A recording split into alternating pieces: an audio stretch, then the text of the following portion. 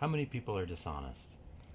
Uh, I'd say since most people are usually just telling white lies or lies to get out of trouble, but don't actually mean it, and usually tell the truth, would be about 15%.